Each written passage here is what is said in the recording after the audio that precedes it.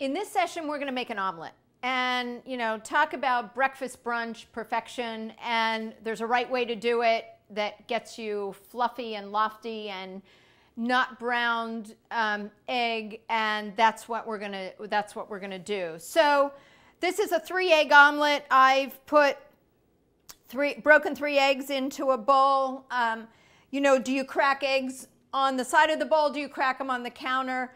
I usually do it on the side of the sink so that if you crack them onto into the side of the bowl, you might get some shells um, into the bowl, which you don't want.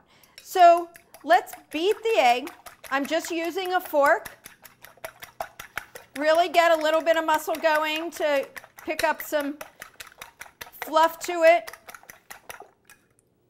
You can make a two egg omelet. I, I just happen to think a, uh, a three egg gives you a little more fluff and loft. Okay, so we've got some aeration into it. I add a little bit of milk. Beat it again. And you want to beat it right before it's going to go into the pan. If you've ever seen in you know, a fast food restaurant where they do an omelet and it looks like a flattened burrito, well, it's because they're using liquid eggs and it really makes a difference. So unlike a steak that you want the burner, the heat on high, in this instance, you want a lower heat. We're using a non-stick omelet pan. This happens to be an all-clad pan, which is, my, which is really my favorite little omelet pan. And I want to put it on the heat just before. I don't want to get it smoking hot. I want it on just before. I'm just going to season a little bit of salt and pepper. I'll tighten up my pepper mill a little to get slightly finer grind. Give it another beat. And what I have on hand is some butter and my silicon rubber spatula so that I can scooch it around in the pan, not scratch the pan. So let's take a little bit of butter. And if you were watching calories, you could actually just, because it's a non-stick pan, you could actually just spray this with a neutral pan spray and be able to do it. Um, so there we go. We get the, the butter around. You just, you don't want to brown the butter. You just want to see it, um, just see how it's, it's foaming a bit. That's what you want. So we take the, the egg, we drop it into the pan. We'll get rid of the bowl. And what you want to have ready is a warm plate. Back to the, the putting um, cooked food onto a warm plate. If you put it on a cold plate, you're going to end up with a cold omelet. So let it just sit for a minute. Let it form a skin, which is the egg cooking underneath without getting brown. And then what we're going to do, so you can, you can even tilt it a little bit and see.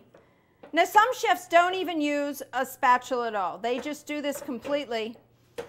But I like to use a rubber spatula and I think it really helps a beginning cook. So what you want to do is scooch some of these cooked curds to the center of the pan. And this is how you're building your fluff.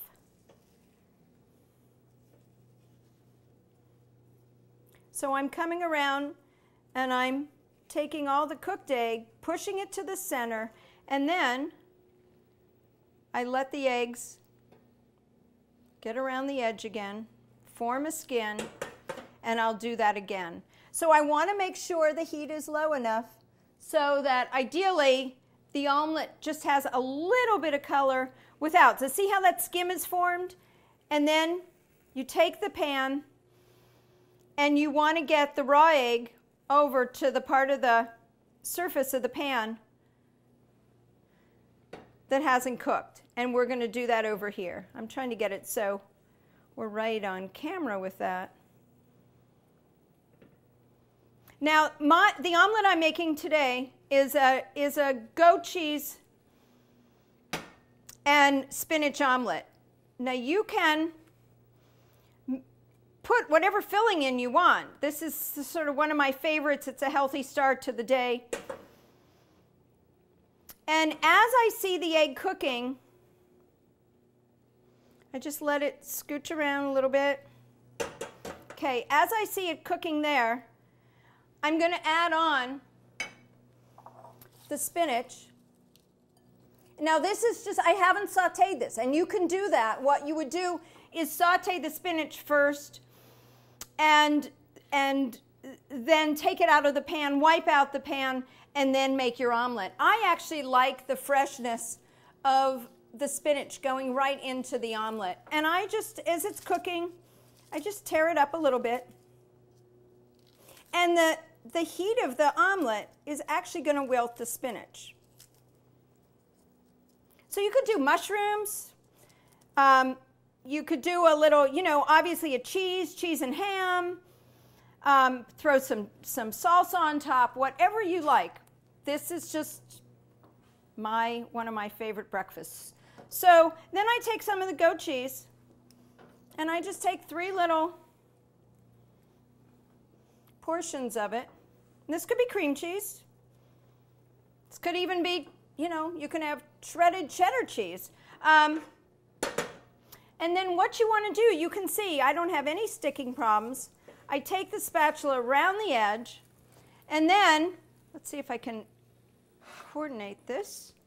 Um, I want to scooch this out of the pan. I'm going to turn it just a little bit. And while I'm letting the pan do the work of um, folding it over as it comes out of the pan. And if you, if what you'll see is that the spinach, I'm going to tuck that little piece in, but the spinach will be wilted just from the heat of the omelet.